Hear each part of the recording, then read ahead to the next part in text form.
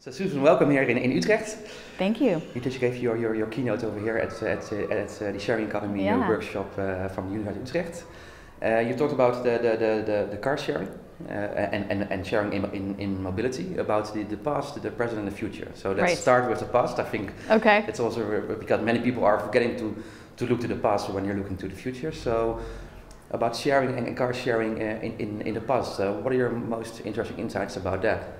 Well, I think a lot of these things are not new. They've been with us for a very long time. So car sharing started in 1947 in Switzerland. A group called Sefage was a co-op, and they were actually still in operation when I was doing my doctoral dissertation work. And they closed in 1997, so they were actually 50 years old. And that was the first incidence. And then also in the 1970s, actually in the Netherlands, there was a company called Witkar. So there's been a long history of car sharing going on for a very, very long time. It's nothing new, but now we have a lot of advanced technologies that make it possible to do things that weren't possible in the past, like providing point to point mobility services like Car2Go and Drive Now. So I love to look at the past so that it helps to inform the present as well as the future. And you also uh, presented a research from 2008. Uh, there are quite some impressing uh, figures. Yeah, uh, Can yeah. you share some about that? Yeah, so we led a study at University of California, Berkeley on North American car sharing. So we had all of the largest operators in Canada and in the United States, including Zipcar, and we had about 10,000 uh, responses. So it was a very, very big sample size, and we were able to look at a number of metrics that are pretty popular in the car sharing space, like number of cars reduced per car sharing vehicle. So we actually calculated 9 to 13 vehicles are either sold or postponed due to a car sharing purchase or, or a car sharing vehicle, excuse me. And so actually 4 to 6 of those are sold vehicles. The rest are uh, suppressed or postponed car purchases. We also see uh, vehicle kilometers traveled reduced, uh, ranging from 27 to 43 percent. We see similar ranges in terms of greenhouse gas emission reductions. So, in terms of a transportation demand management strategy, it's a very meaningful one because it gets people to think differently about their car.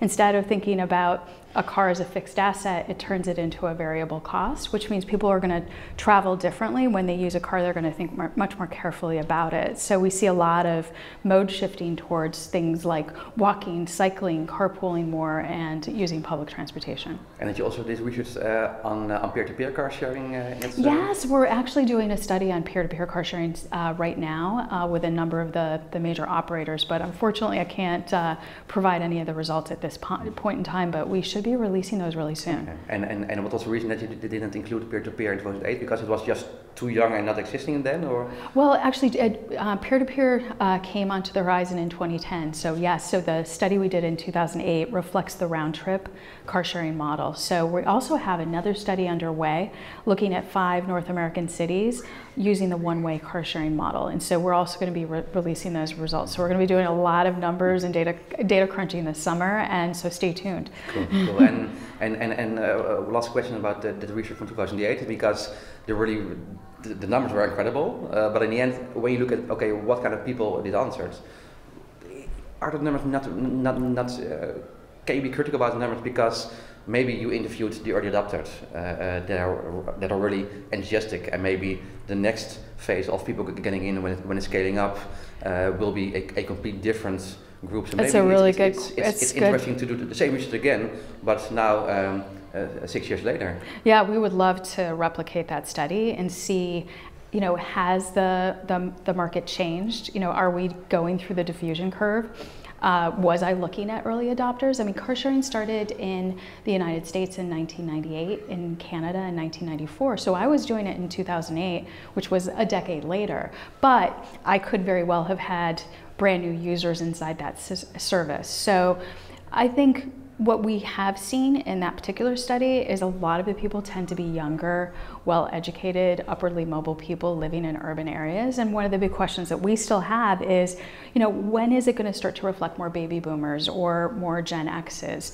And uh, Zipcar actually just released a study that is suggesting that a number of its users are actually baby boomers now who are coming back to the city centers after their children grow up. Yeah, yeah, it's interesting. Yeah, it's it's, it's because because it's it's I think uh, uh, also the need uh, and also the use and, and, and the hybrid model of, of, of owning or, or access will also change in your life. Like I now have, have, have two kids, my youngest is, is, is four months. So I just want a really big car uh, uh, in front of my house to get all the stuff inside. But maybe in five years, I say, okay, it's okay. Not, not, not, you don't need the car seats. Anymore. You don't need all of the, the baby equipment. Yeah, Yeah, yeah. absolutely, absolutely. I was recently asked that question by an automaker: is you know are, when the millennials or the X's have kids, do, do their lives change? And I think the answer is of, of course. But is that is that a sustainable choice towards auto ownership, or will they go back to other forms of mobility? Mm-hmm. And interestingly, you know, car sharing really wasn't popularized you know, at the time when baby boomers didn't have kids. So the fact that they are going back to cities and starting to use these services is an indication that perhaps these types of services are mainstreaming. Yeah, yeah, and and, and, and, and we're all really positive about uh, the, the, the increase of numbers of people are sharing cars. Uh, but in the end, when you look at okay, um, are the cars or, or some services like Car2Go, uh, but also like UberX, are they competing with normal car uh, ownership or are they competing with public? Uh, because when I look at myself, I never use a taxi, only when I had to uh, go, go, go, to the airport at, uh, at 4 o'clock in the morning, because I think it was too expensive and too much hassle. But now I'm using uh, Uber Pop, Uber X in the Netherlands. and normally these trips I would, I, I would have made by a bicycle or by public transport. So, so is it, is it fair to, to, to make this, this, this, this, this announcements about the results uh, when you don't really know, okay, what kind of transport uh, do they? Uh, uh, right. Well, I think that some of these new services we don't know enough about. And the other thing that I think is happening, right, is it's an ecosystem of services now. It's you know back in 2008 when I was doing the round trip car sharing analysis, it was round trip car sharing. So that was the thing that you would study. But now when you actually go in and study a city, you have to take account for is there a bike sharing service, is there a car sharing service, are people carpooling, are people using these new services? We call them ride sourcing, this idea that you source rides off of an app-based platform. So like Uber, Uber Pop is, a, is an example. We also have Lyft. Um, and so how are people making trade-offs in their decisions and are they traveling differently? And one, I think, unanswered question is what is this doing to auto ownership? And is it one of these services in particular that's pulling somebody away from auto ownership, or is it the collection of choices for that individual that would uh, reduce the number of ho uh, household vehicles that they yeah, own? Yeah, really interesting. And we I, don't know. No, no, but that, that's cool stuff about this time. we don't know. There's so many questions, in there, and, and with every keynote there will be more questions at the end. So, but yeah, I mean, we're we're really just at the beginning of this, Yeah. which was one of the comments that uh, I started with. Is Yeah. you know I've been researching shared mobility for 20 years, and um, it, this is really just getting started. And and and, and uh, I got uh, quite some feedback from from from the more traditional people I know from the consultancy side to say, okay, uh, because I also went to OuiShare Fest uh, two weeks ago in Oh, Paris, uh, and I brought two old school consultants with me to introduce themselves in the world of the creative economy, and they said something really interesting. They say, okay, Martijn, I hear a lot discussions and talks about processes and about technique, but no discussion about about people.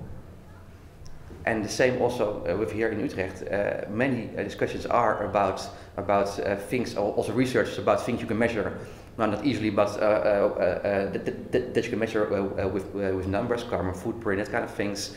But there are hardly any discussions about social impact. Yeah, yeah, and I, that's a lot of the work that we're focused on. Uh, we're really interested in how this, uh, these types of services affect quality of life, so we're developing new indices to study that. So stay tuned. We're going to have a lot more research that I think is going to go into different dimensions of the social and environmental benefits and impacts of these types of services. And, and, and talking about sustainable business models, yeah, you also uh, had quite some figures about bike sharing. Yes. Uh, but when you look about the sustainability of, of, of the business model, Yes. Uh, I think the Netherlands, the, uh, the Netherlands is, is, is one of the few countries in the world where, uh, where bike sharing, uh, because all the bikes are from the rail stations, uh, uh, they are not losing money in it. But I also heard some stories about the bike sharings in, in London, where they say, okay, with the cost of one year bike sharing in London, we can give every user a bike for, for the same amount of money. So, so Yeah, I think it's early days in the business model of bike sharing. You know, bike sharing came on the scene. It's been growing rapidly since about 2008, and you know, I think it's been moving so quickly. It's almost difficult to reflect and to determine, you know, what types of adjustments need to be made to the business models because new cities are replicating the previous business models that were implemented. So we need more time, I think, for reflection and understanding. We just actually did a study on Bay Area bike share in the mm-hmm. in the San Francisco area, looking at pricing and the casual user, and we found that actually 53% of people who approached the bike sharing station and looked at the pricing didn't understand it. They thought it was actually much cheaper to use than it would have been, and they didn't understand that they needed to redock every 30 minutes. So they, you know, if they had actually used it or did use it, they could have been charged much more than they thought they were paying for access to it. So some of it is just even also education and understanding yeah. about how to use these services and and I think we're in such early days of even understanding, you know, what bike sharing can be doing, uh, that I think we need to give it, give it a little time, and um, but you know, the, the environmental and social benefits, I think, uh, could be rather significant. If you shift somebody away from uh, internal combustion engine for their commute into a bike, you know, the environmental benefits and the congestion relief benefits are going to be notable. Yeah, and, and, and also interesting what you just said about people not understanding uh, with the bike sharing uh, the, yeah. the, rates.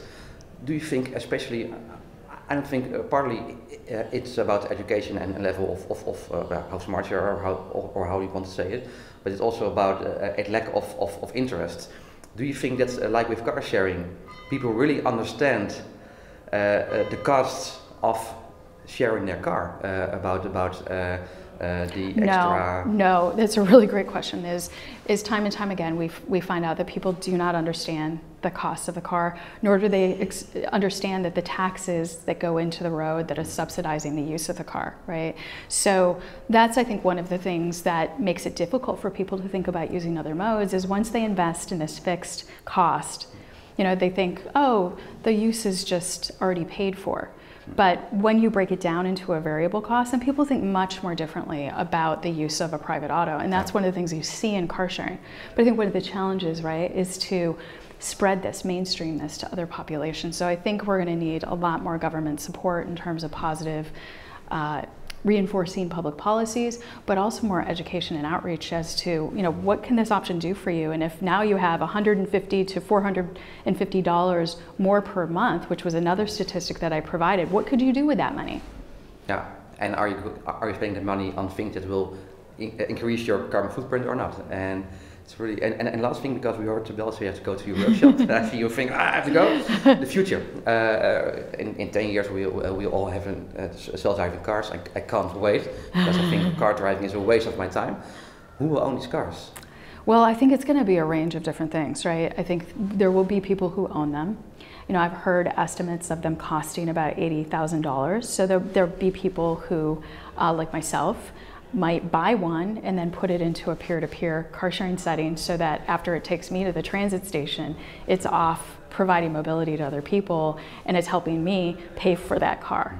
So I think it's going to be a range of a whole different set of business models. And one of the things I've thought about is, you know, does the sharing economy actually sort of converge, you know, do these ride sourcing services and car sharing services that are all very distinct right now kind of converge into one model of shared mobility that's yeah. provided by yeah. cars that are co-owned or owned by a, a, company or just individuals who choose to have their own yeah. autonomous vehicle. But you know, the future is know. unclear. Yeah, how you know how adopting people, human beings, are going to be of this technology, as well as government policy. Yeah, yeah, there are quite some some some things to fix, uh, mm-hmm. but also the other one, uh, because I think also another scenario is, is that peer to peer is just a temporary thing, like SnappCar. Yeah, they, they'll say, okay, we won't exist in ten years like this because then the problem of of of of, of idle capacity is solved because of really effective self-driving cars. So but they but they could be part of the whole market mechanism, right? Because yeah, they, they, uh, I'm the owner. I'm the owner of the car. I put it into the SnappCar service, and yeah. and SnappCar takes yeah. care of the all of the rentals and, and transactions for me, and I get I guess a check at the end of the month. Yeah. Yeah. Helps me pay off that eighty thousand dollar lease that I have on that vehicle. So yeah. so I think a lot of things could change, and I think with you know information technology, electric vehicle technology, and all of these uh, automated vehicle technologies. The future, I hope, is really bright. Mm-hmm. You know, I, I, view myself as as uh, really privileged to live in a world that needs reimagining, and so. Um, you know, let's see how this goes. Yeah, cool. Okay, thank you very much. You're welcome.